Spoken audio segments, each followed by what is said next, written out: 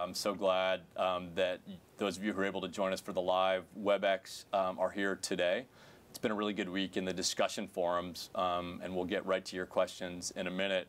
Um, why don't we start as we usually do? We'll have our panelists that are in the studio do a quick introduction, and then we'll go um, to our remote panelists. So, Dave, do you want to introduce yourself? Yeah, well, first of all, thanks for having me. Uh, Dave Neundorfer, CEO of Linestream Technologies, uh, based here in Cleveland, Ohio. Uh, we spun out of one of the anchor institutions here, uh, Cleveland State University, about six years ago. Uh, we are an embedded software company.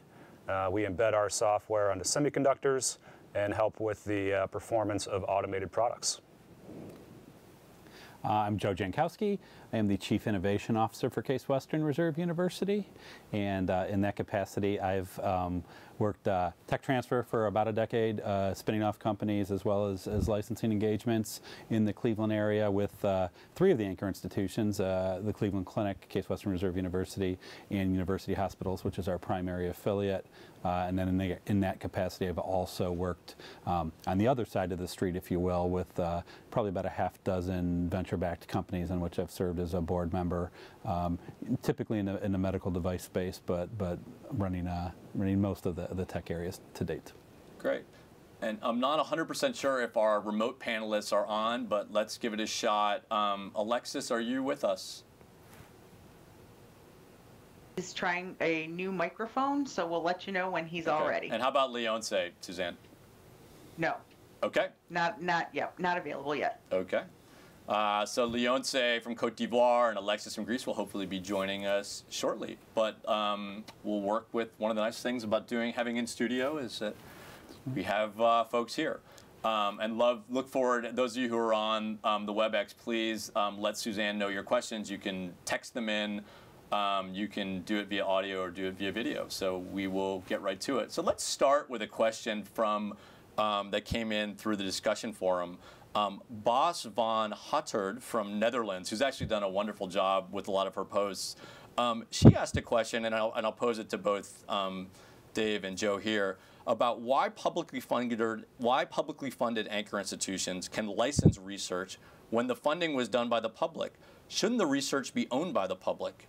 Um, so, I mean, Dave, you've taken a, a, a technology that was paid for by public money and turned it into a company. How would you respond to sort of Bas? I mean, you know, this is a for-profit company, and you have investors that are looking to make money on this uh, on this opportunity. Absolutely. So it's a, it's a great question. And um, the way I would answer it is uh, when the for profit company succeeds um, and eventually has a liquidity event, um, our uh, university, uh, the public university that uh, we spun out from, uh, will participate in that, uh, in that event. So um, Cleveland State University has a, uh portion of equity uh, in our company, Linestream Technologies.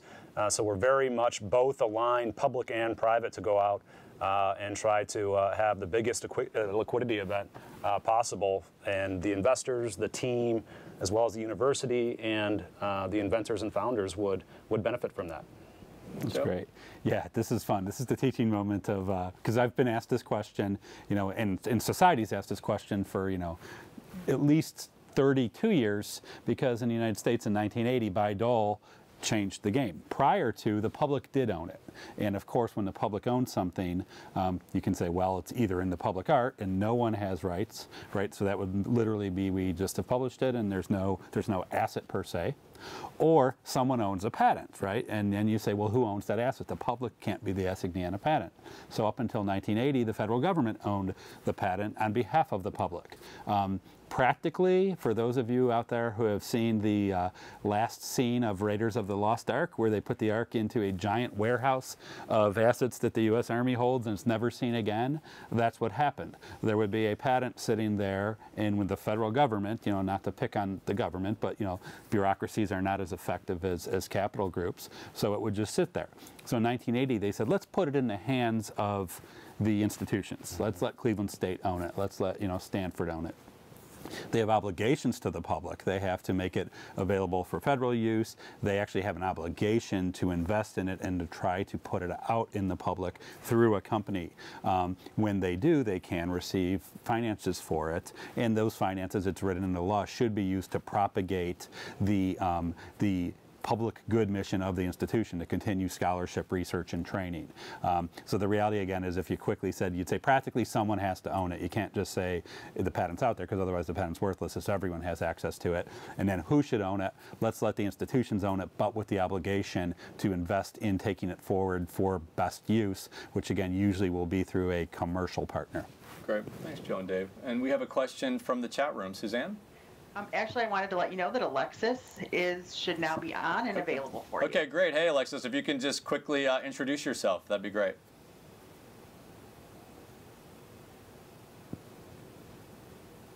He's humble.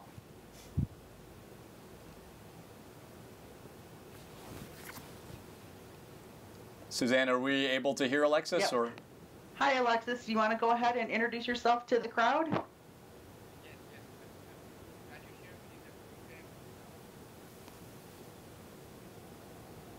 Okay. We can barely hear you, Alexis. Okay.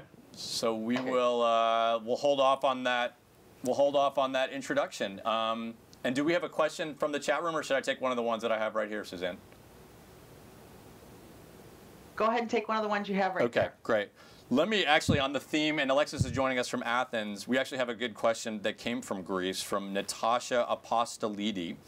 Um, she said that much of the research conducted at university never makes it off the shelf, but nonetheless might be commercially valuable.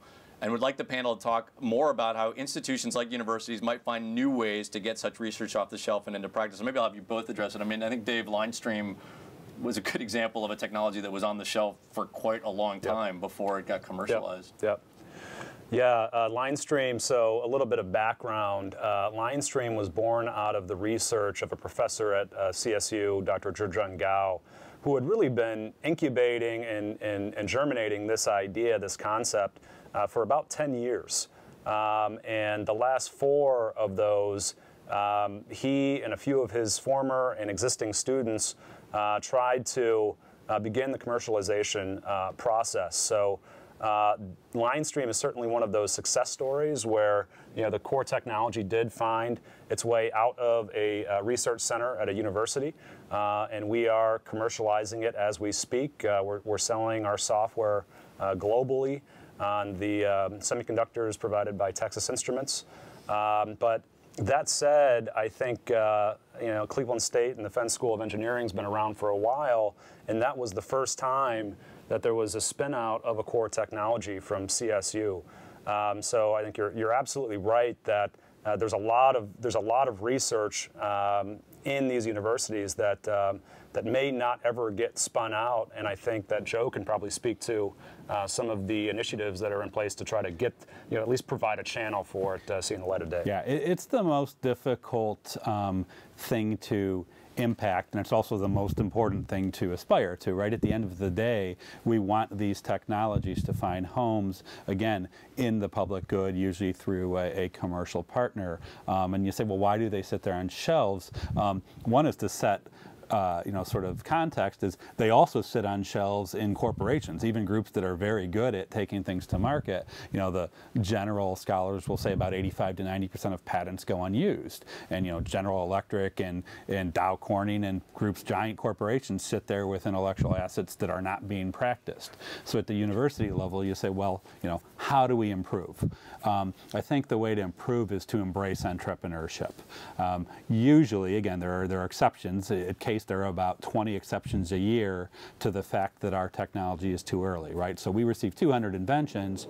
20 will find homes with corporations. The other 180, you could argue, are sitting there.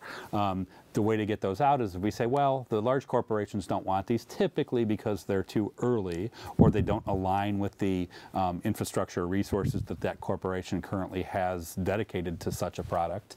Um, then you say, well, what can we do to find the Daves of the world, to find someone who can create a vehicle for this technology? And so, you know, the person who's going to take it off the shelf or the entity who's going to take it off the shelf is going to be that that enterprise, that that new newly formed enterprise. And I think that entrepreneurship in the last 10 years has proven out that you know they're the most effective. The privately held, you know, small, fast-growing companies are really the best way to add value to early stage assets that were created through research, rather than hoping that one of the multi-global conglomerates um, finds that this fits the specific need they have. So embracing entrepreneurship and training our students and our talent in the region to look for those opportunities and to have relationships with the anchor institutions is probably the most general but best way to, to help to get more things off of the shelf. Great. Thanks, Joe and Dave. Um, and Suzanne, are we, how are we doing with Leonce and, and Alexis? Are they there now? Alexis, we're still trying to troubleshoot his audio issues. Leonce is here, and you should be able to chat with him now. Great. Hey, Leonce, thanks for joining. Thanks, everybody. Great. Can you just quickly introduce yourself? So, um, I'm, I'm, I'm a lecturer in the business school in, uh, in Côte d'Ivoire, uh, Ivory Coast. I'm um, training, uh, communication engineer. Um, project manager for a couple of infrastructure development in telecom industry. And uh, after that, I did in Barcelona at ISC Business School, and I've chosen to, to, to go to academic path. So I'm Ivory my, my home, and in technology in a business in which we've top and many executives in the country. Great. Thanks, Leon. And it may be, and Suzanne maybe can work with you, it might make more sense just because of bandwidth issues if maybe you go to audio. Um, but let me ask a question um, back to you about, we had a good question from the chat room from um, Ed, Edita Bednarova from Slovakia. And she wants to know what ways that universities are trying to support their students' entrepreneurial ambitions whether via training, networking, or even workspace? Are there examples of innovative, effective forms of support? So what's, what's happening at your university in terms of supporting student-led entrepreneurship? So university is we having programs with uh, executives, so they're having own companies and uh, basically, what we're trying to do is to give them all the management capabilities so that they could have very competitive business. And um, by, by doing that, also, we have a very strong focus on entrepreneurship uh, activities. So what they do is basically trying to benchmark the business um, kind of uh, globally and trying to know what the best has been uh, done in these countries and trying to replicate them here. So this is basically at the level of, of executive education programs. Apart from that, we, the people that have been graduated in our program, we have uh, set we have set up a, an angel network. So this initiative has been done so that Hello? Yeah, we can hear you. It's great. I think it's better. Yeah, the audio is great. Just stay, stay on audio. So we've set up a, a, a business angel network to them so that they also by themselves support the growth of young entrepreneurs. So it's something, it's been something very new in this country because the angel investing activity was, you know, uh, almost nobody was doing that in this country and uh, it's been kind of trying to give them the support so that they could identify very interesting projects. And since they kind of, uh, I would say, uh, kind of upper class, you know, um, people in this country, so that they could also, from their own pocket, finance and fund some of the some of the entrepreneurial projects that are here in this country. This is something we're trying to do as uh, an academic institution to support the growth of entrepreneurship in Ivory Coast. And Joe, I don't know if you want to chime in. I mean, a lot has changed during since when you started at Case Sure. Western to now in terms of the support of student-led entrepreneurship. Yeah, and I respectfully say that 12 years ago at Case Western Reserve University, um, the only student uh, programs for entrepreneurship were if you actually were enrolled, you know, you were a tuition paying student in such a program. Today, you know, roughly a decade later, we, we've preserved or still have several um, in classroom sorts of uh, uh, groups for, for students who really want to focus on entrepreneurship. But where I think the most growth and the most impact has been that all students, regardless of you know what their major is, whether they're in physics or you know the arts, um, have access to capabilities such as um, laboratories. Uh, a lot of times we'll call them you know sandboxes in which collaborators can come and play. They have access to professional networks of of uh, lawyers. Um, you know, Michael knows we've just recently created a um, intellectual property and venture law clinic, and, and a clinic is a uh, resource run through the law school in which third-year law students provide legal services for free to young entrepreneurs, or they don't have to be young, but to entrepreneurs in, in, the, in the regional, in this, you know, particularly the university ecosystem. Um, so they teach them about why do you need a patent and how do you structure your business. Likewise, we have programs um, to allow students to see assets from the research enterprise to say, here are inventions that have been made. Would you like to work on these as a student team or even as an individual? And maybe one day take this out as the you know leader of an enterprise. Um, so long story short, uh, we still have some formal education, but the real energy and the real value is a bunch of what we'd call extracurricular programs to allow students access to, um, to networks, to facilities, and to an understanding that this is a career option for them. Um, and I think it's just growing. I think that you'll continue to see investment in this area because I think it's what students are looking for.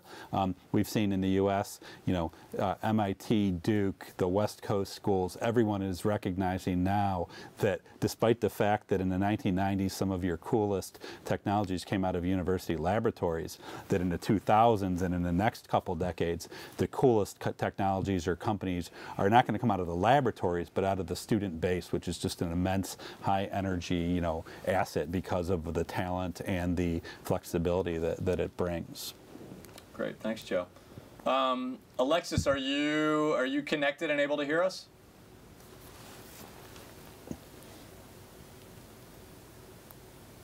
All right, having some uh, bit- some.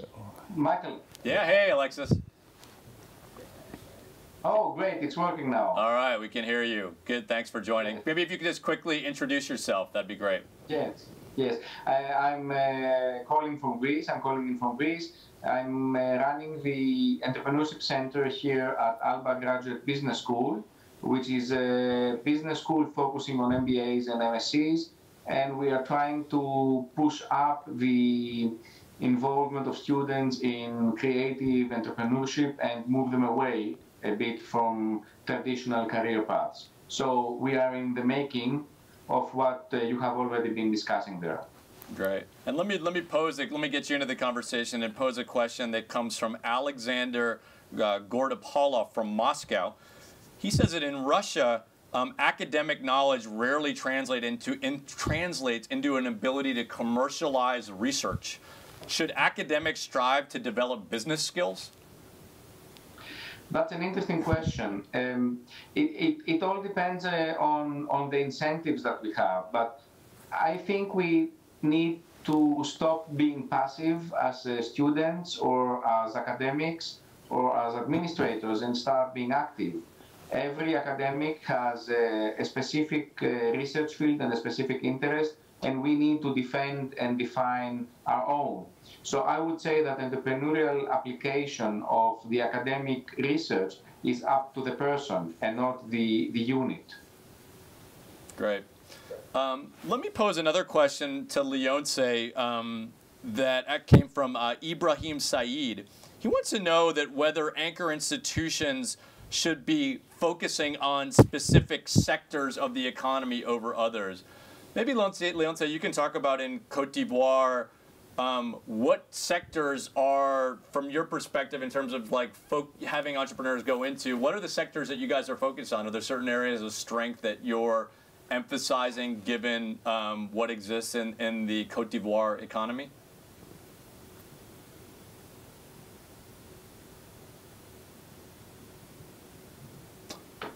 Okay, I'll send it to Alexis. Do you want to take that one? Yes. Um, I would say that it's a bit uh, complicated to see what an economy is doing uh, or what it's not doing, because especially in Greece now, it's it's a turmoil and, and there are many many problems both on the macro and the micro environment. Uh, I would say again that it goes down to the person. Okay, and If, Joe, if I got the question right. yeah, yeah, that's great. And Joe, I mean, Yeah. there's some ways that we've tried to ta- take advantage in the in the region of some strength. Maybe you can talk to that. Yeah, I mean, I, I think, and I'm on the, I'm not on the fence. I think that the general answer is you probably will find areas that you know we'll call the term low-hanging fruit, where there is the best opportunity for you. Um, and I always believe that value is created at the confluence of talent, opportunity, and capital. Right? If you can put resources along with talent and an opportunity, that's when you create something. So, um, of those three pillars, there may be ones that stand out. So, for instance, in Northeast Ohio, we may say we have a lot of opportunities in medicine, in healthcare, because of the strength of our anchor institutions. Um, so, I think you'll play to those, but you want to really play to those as the market dictates, because I don't think it's, I don't think universities or anchor institutions should focus and just say we're going to become the you know polymer uh, capital of the world. Um, rather, I think you want to say where are entrepreneurs, where is the, the capital market and the other partners really looking at us as a source of opportunity. And so I think you ultimately do um, find certain areas of that are better than others, but I'm always careful not to philosophically try to determine what those are. Great. Uh, and I think we have a question from the chat room. Suzanne? Yes, we have a question from Neeladri from Cincinnati, Ohio. Thanks for putting together this WebEx, so you're welcome. Could you throw some light on the entrepreneurial activities in the micro nano electronics domain like biomedical microsystems, flexible electronics, organic LEDs, etc.? Which U.S. universities are promoting such startups among graduate students, and is there any particular field in which heavy entrepreneurial focus is being given based on the forecasts and trends by the international technology policies? Dave? I can. Thank God I have panelists here. Uh, yeah. Joe, you want to start? I can start? take Okay, a crack. Okay. Um, again, I, and almost following on my last answer, I don't think you want to say here's the area where it should be done or where they're best, but I do think again in those spaces you're going to follow where the you know where the greatest research density in the in the country. So in the U.S., Albany's very strong on on nano. Um, so is the East Coast, you know, Boston areas with, with MIT. Um, uh, I know I'll miss some. I believe uh, there's there's another Western school that's very strong. But I think you're going to again, you know, the part A of the answer will be the areas where you have a high or an established um, research base, you know, and usually can track that with federal funding. Where's the NSF investing? Where are we seeing the, the best in terms of materials and, and nanomaterials? Um, the second area where you're seeing that is where they have a confluence with existing markets. So for all the sort of really cool things you can do with nano and with you know uh, one day the sort of what we'll say the the 50 year out sort of Star Trek medicine. At the end of the day, you're seeing a great application for flexible polymers and for small microsystems in wearables. And in wearables, you're finding that there's a huge market in the consumer space, especially where consumer blurs with healthcare. So regions in which you have um, populations that are, are you know, adopters of, of technology. So sort of how do we integrate Fitbits or similar uh, embedded sensors or wearable sensors into existing large industries such as, you know, the U.S. healthcare system. There's another place where you'll see a lot of companies popping up, right? They may not be there because there's a high research base. They may be there because their customer base may be there. And, you know, you probably on the sensor side are, are seeing some of that along the, where you, you almost, the supply chain is, is going towards where the customers will be for that given product. Great, great question. Um, we had a question from Meredith Robert, Robertson from North Carolina, and she went, talks about kind of this natural tension between government initiatives that are attempting to place a greater emphasis on the commercialization of government-funded research, given the natural, but there's this natural inclination to governments to avoid funding research for the purposes of making money or developing state-run companies.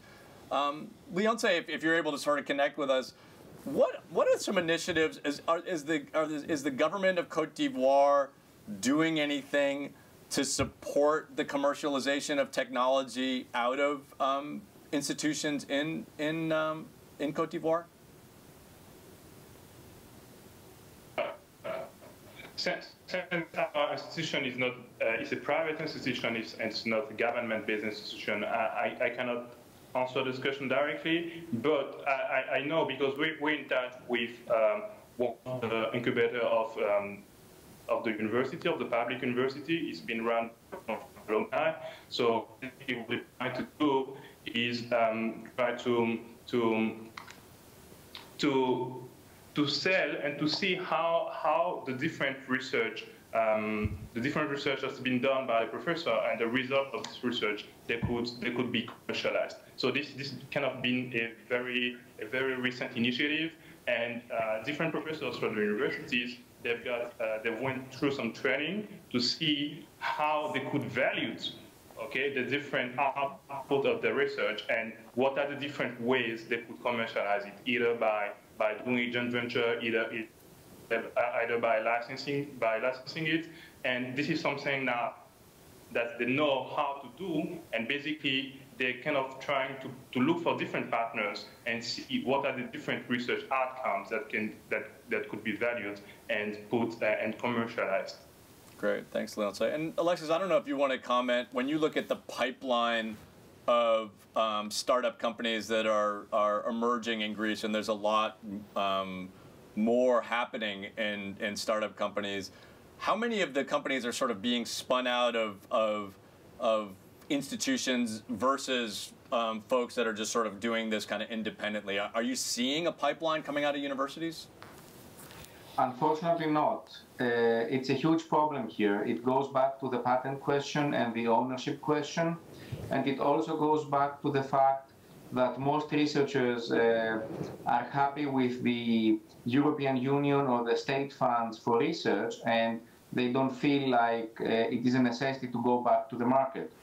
It seems to be changing now with the European Union focusing on commercialization and with the new Horizon 2020 uh, funding projects, but we need to wait and see how this will affect the commercialization process.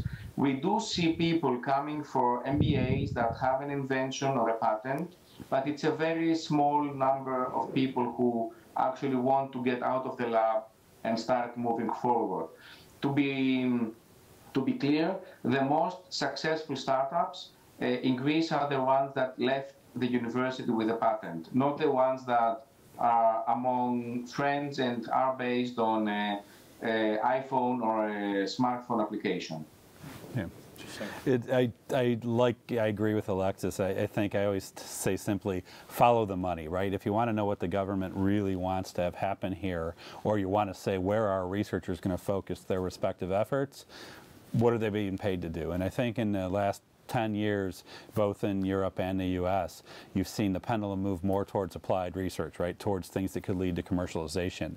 That said, it still is largely predicated on basic research, right? So until the, the governments start to say, you know, if, if in the U.S., for instance, I believe the NIH will deploy roughly $30 billion a year into extramural research, until they start to say, we're going to fund translation and commercialization, the researchers aren't going to do that. They're going to follow the money. If the money's with basic pursuits, that's ultimately where the culture is going to lie. Um, and I don't necessarily advocate that we need to do all translation and commercialization because, of course, you say if you don't do enough basic research, there'll be nothing to apply or translate. So there needs to be a balance. But I absolutely agree that some of the, the European assessments in the UK, the REF, which the results will come out this December, that will look at the impact of science investment or university investment on society, are going to probably start to become the building blocks for what's the real answer of how much of our investment as the public should go towards commercialization, how much should stick with basic science, and then likewise, where do we say here's where industry takes over, right? We, we you know, the,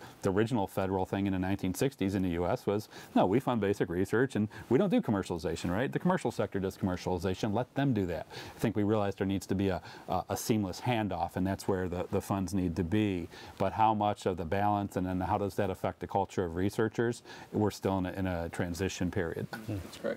Um, Dave, let me ask you a question. Um, there was a question that came in from Boon Kiat Tan, and sorry if I didn't pronounce that right, um, talking about sort of student-initiated startup companies like a Facebook, a Google, a Dell, that were, you know, Dell started in a dorm room. Zuckerberg started Facebook at um, at Harvard, and the Mm-hmm. Google's as it is Stanford. You graduated from Stanford Business School. You've obviously taken a different path than some of these folks. You've licensed uh, university technology, but and maybe as you think about your classmates from Stanford, that decision to not and, and, and students have that opportunity. They could take an idea that they developed into a technology transfer organization that has some pluses and minuses. Any thoughts on kind of as you looked at your classmates that went the other route and sort of developed ideas that they developed at university but did not do it through the university technology transfer process? It's a good question. I, I think it comes down to uh, whether or not you need the university's um,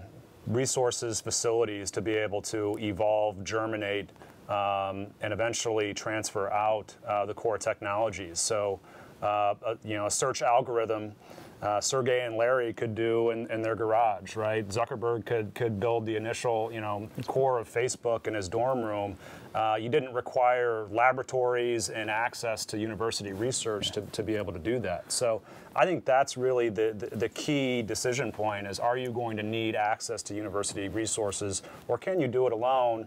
And in today's world, I think a lot of companies and a lot of ideas are going more down the path of we can, we can do this alone, we can get the right people, and we we don't need, especially if it's a software-based Right. uh, company, we don't necessarily need full access to university resources. Yeah, I think there's nothing harder than trying to be an entrepreneur with someone else's idea. Yeah. You know, because it just takes so much passion. It's you know such a roller coaster ride, and then to to say I'm going to predicate you know my life to building this enterprise based on uh, technology that came from a guy I haven't met yet. Right. Um, you know, that said, we need entrepreneurs, right? We we need people who want to do that to say, hey, here's a cancer drug, because like you said, you can't really do cancer research out of your garage. Um, at the same time, if I were an entrepreneur, I would try to avoid right having to be beholden to someone else's idea and those those encumbrances. If I believed I had something that I was passionate about that didn't require that, so it is. It's an interesting when you talk about even student entrepreneurship. Offhand, I'd say 90% of our student entrepreneurship has nothing to do with the university other than that they happen to be students here. They're not taking our patents, they're not using our facilities other than the facilities that are open use, but they're not using you know, our lasers or our animal vivarium. Um, and, and we love it when they do, right? Because that's the perfect world of, of someone tanning it, but it's very difficult to do. I mean, Alexis, I don't know if you want to comment on you made you made a comment that a lot of the um, good companies you're seeing in the pipeline in the startup pipeline in Greece are coming from universities. Are you seeing that um, that tension between sort of students wanting to kind of do things on their own without universities, or kind of going through the university channels um, with their companies? I think there's an, an, an element of institu- in, institutionalization. If you have moved up the ladder as a senior researcher, it's very difficult to get into the momentum of starting up. But we have a, a newer generation of researchers who identify that they can do a lot of stuff on their own, exactly as uh, it was mentioned before. And they are pushing uh, professors and, and schools to commercialize. And if they don't, they will do it themselves. Unfortunately, we also see some universities coming back and asking for, um, let's say, patent ownership or, or business ownership. And it is sad to see that the university goes into a trial with a former student that it actually never wanted to support. So mm-hmm. it, it's kind of a, a double-sided coin.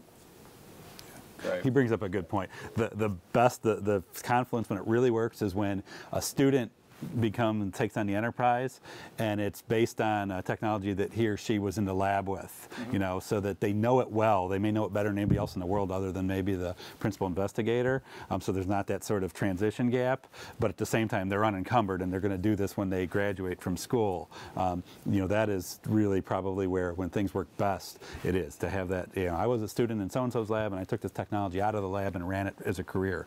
Um, but, but to go there as a student where you've just coming in a priori with no context, Right. it's very difficult to say, can I see what you're doing and could we create a company around it? Right. Um, we had a question in, in the discussion forums from Nick uh, Erter-Kerner. I should not have pronounced it. He's actually a student of mine here at Case Western Reserve. Um, and he gets at, and Joe, maybe I'll pose it back to you and then get the panel to discuss it. This um, tension between, or not tension, where licensing um, a university, I mean, a lot of the traditional approach for universities has been around commercializing technologies and licensing it off versus supporting some of these researchers. And we, and we had, in addition to Dave in the MOOC, we had Charu Ramanathan Yeah. from Cardio Insight, who was a researcher here, Yep. looked to commercialize her technology, but initially through license, and that path didn't work. Mm-hmm. Right. And then ultimately, with the support Created of yeah. the university and some funds, maybe you can talk a little bit about that tension between. Oh yeah, it's a um, horrible tension. You know, and I, I, I stepped away again. Uh, I ran tech transfer for almost 10 years here, and then two years ago became the innovation officer. So I no longer have to, to deal with the ugliness of that tension. But it, but it's very real um, because you know I used to say when I ran tech transfer, if people said, "What's your, what's your bottom line? What are you you know what's success?" It depended on your constituent. To the individual inventor or to the student possibly, it was what have I done for his or her technology to help move it along, either into a company or to a license, right? So they wanted to hear, what are you doing for me? Appropriately so. To the dean or chair, they wanted the portfolio effect of, what are you doing to help me recruit and keep students and, and, and uh, you know, principal investigators or faculty? Are you keeping them happy, keeping them out of my office from complaining? And then at the provost president level, they want a financial return. And it's like those things are always at times very different, right? If you're only looking for financial return, you're going to try to do licenses to big companies. You're not going to support the student startup, right? If you're only doing student startups, then you're, you know, you're not going to have the solvency issues where, where upper management saying, what are we paying you for? You know, this is very expensive to have all these patents. And it, it is. It's, it's a brutal tension on the offices, on the individuals. And then, you know, the fourth player really here is is the inventor who it's his or her baby. Even if they don't own it, even if the institution by law owns it, it's theirs. And if you try to say to them, we're going to take your baby, and instead of you know getting a deal with Lockheed Martin, we're going to let this 20-year-old student create a business plan and see if he or she can get angel capital. Sometimes they love it, but sometimes they say, no way. You know, this is, I've been working on this 12 years. I'm not going to entrust this to uh, a kid who's doing his first venture. So it's a very difficult, uh, the tension, you know, it exists. I don't know how to alleviate it, right? It's, it, it, but it's very difficult to navigate. At times it works well, like you mentioned with Charu, but there are certainly, for every success, there are probably nine other ones where it turned out very badly, at least under one of those individual lenses. You either didn't make money, or you, you know, made the dean angry, or the inventor wasn't happy, or the student was told he or she couldn't partake in it. And uh, it, it's very difficult to find the win-win-win-win. Great. Um, Leonce, if, if you can uh, hear me okay when I ask this question, you had mentioned before about some of the work that you're doing at your university to um, enable access to capital. And next week in the MOOC, we'll have a whole um, series of videos. Um, get ready, MOOC students. You have three videos this week to watch. We'll do something on seed accelerators, something on angel investors and access to venture capital.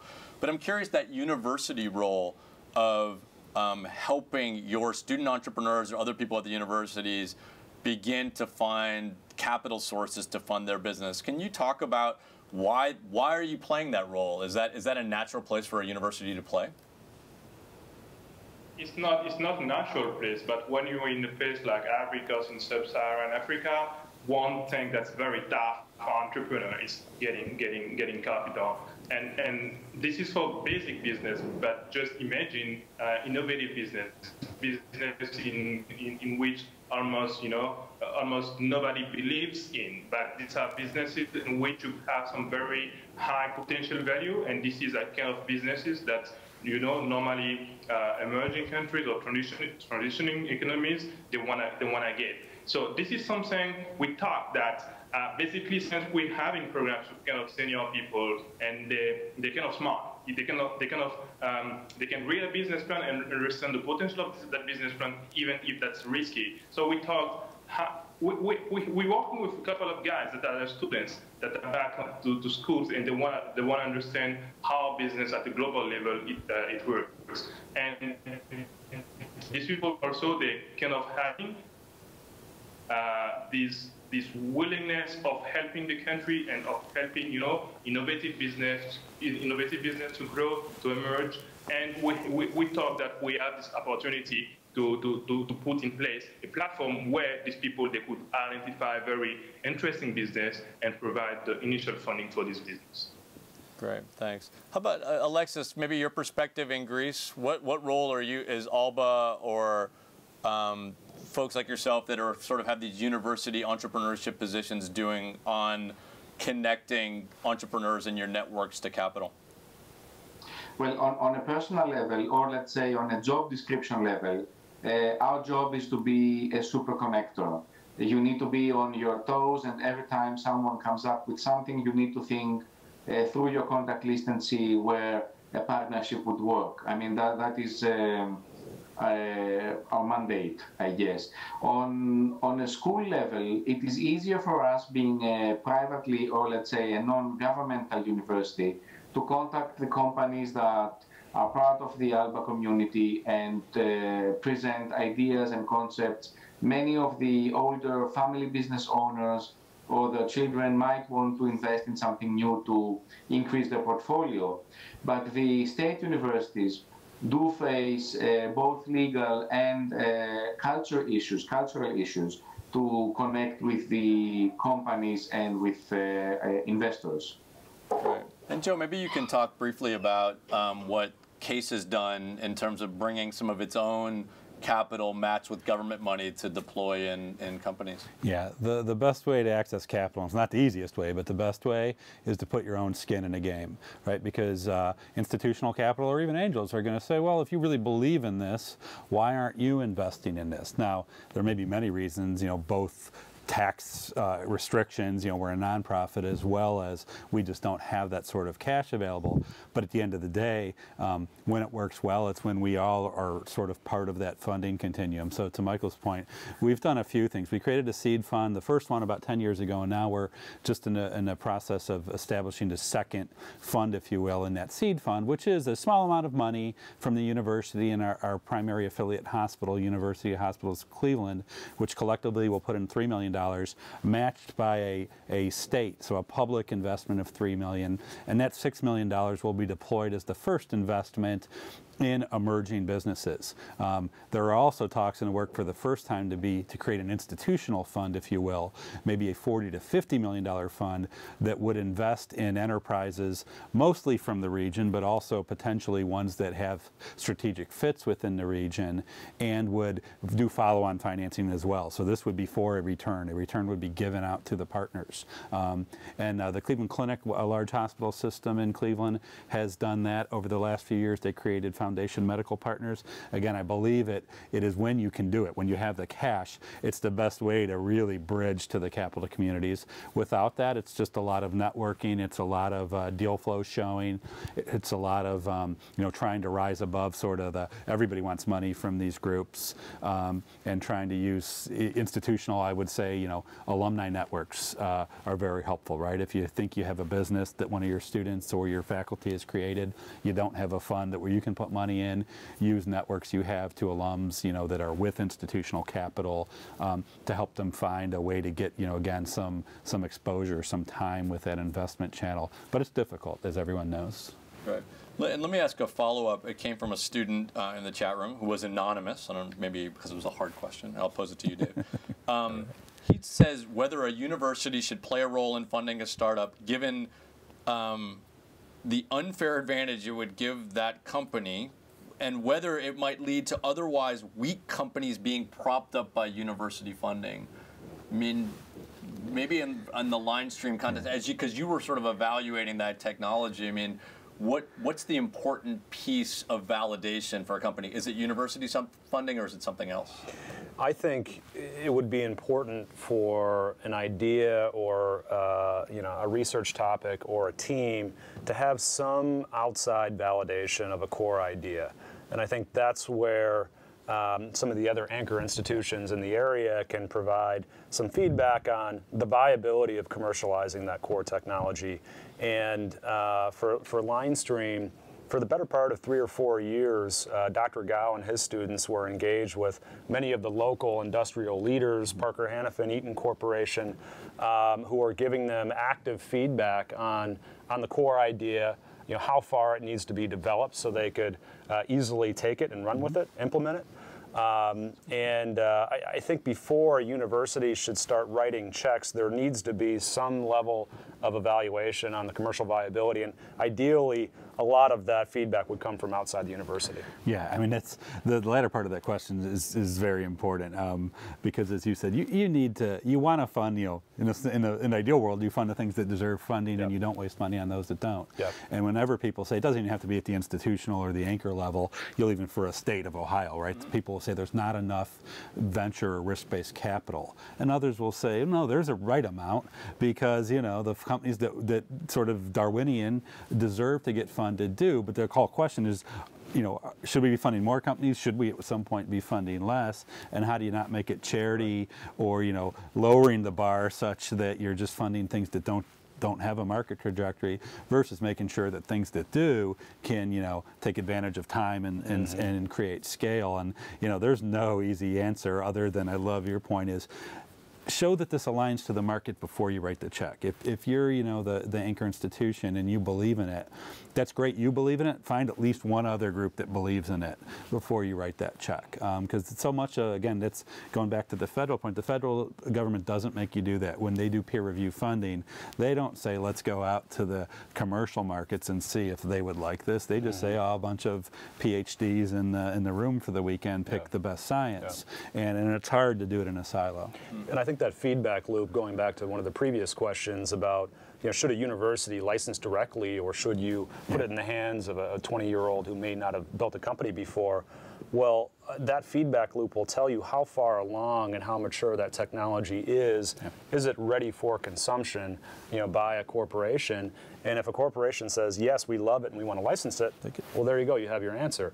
If not, who better to run through walls uh, than a fearless 20-year-old, because right. it's going to take a lot of cycles to get through that yeah. next Oh, and to your point about Cleveland State, right, I'm, I'm, guessing Cleveland State didn't write a check into LineStream, right? No, they did not. But they probably helped get to Parker Hannifin and others because of their did. strong they ties. Yeah, so. so. there's more than just money yep. that they can provide. Yeah. And let me, let me get our international panelists involved in the conversation as well. And one of the key themes that we've talked about in the MOOC in week two, we talked about the role of donors. And donors could be um, foundations, donors could be governments. In the case of Greece, as a number of, um, of EU or other programs. Alexis, maybe you can comment first on kind of this, um, this validation. I mean, how many of the donor or government programs that are being used to fund entrepreneurs in Greece, whether they're coming out of universities or not, do they have that um, that third-party private sector match that's sort of keeping them honest um, to make sure that their their dollars or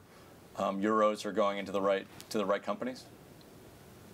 Well, uh, they do, but not to the extent uh, like you might have it for one for one. We do have, we do see donors. We just um, witnessed uh, a wealthy Greek American offering half a million uh, dollars if they are matched by other donors. Mm. But in terms of European Union funds, we have an 80-20 or a 90-10 uh, matching process. So they will get 80% of the funds from the European Investment Bank and they need to find the rest of the 20%. But being venture capitals, uh, they should be able to find more. So uh, it, once again, it seems to be skewing the whole process, not pushing it towards the right direction. Okay. Thanks. And Leonce, any thoughts about um, sort of the capital, access to capital in um, in Cote d'Ivoire, government and donors, um, and their role, and are they are they funding the right kind of deals? In, in our case, in our institution, um, we, we are non-for-profit institution, um, so it's been it's, it's been set up by donors and all the activities that we have around entrepreneurship is it's, it's funded by donors, by, by philanthropy. What we have around capacity building for entrepreneurs, what we have around uh, having entrepreneurs to pitch their business, to refine the business, to see what's the right business model and what's the right channel for them to sell their business and to see how they could improve the innovativeness of their business. All these activities that the business school is running for these entrepreneurs is funded by donors that are basically some of our alumni or some companies that are working with our business school. Regarding, regarding all everything the government is doing for, for, for entrepreneurship, basically for now, the, the, uh, as, as, as much as, as, as no, there's no funds, but there have been a couple of prices that's been January, it's been a kind of um, prices for the 10, 10, 10 top entrepreneurs. Um, they, they, they won this prize, and they kind of being followed on by by, by the government to see how how the business is kind of developing, how and by the end of the year, uh, they, they're expecting to see if the prototype is okay, if they've, they've already generated the first the first sales and everything. But what I think is going to be more interesting is that since we are in kind of very risky and uh, very risk, uh, very risky environment, is that they, they're kind of having some funds, some small funds for startup, so that it's, it's, it's going to lower the risk of of angel investors or, or, any type of investors. So since the government money, uh, government would provide some money so that it encourages more entrepreneurs to launch in, in some businesses and to attract also us to see whether the risk of some businesses in which they're interested, but they cannot invest because they think they're kind of too risky uh, see if the government invests in this business and six months or, or one, one, year later, if these businesses are kind of successful, it's going to attract more funds for, from uh, angel or venture, or venture capital. Great.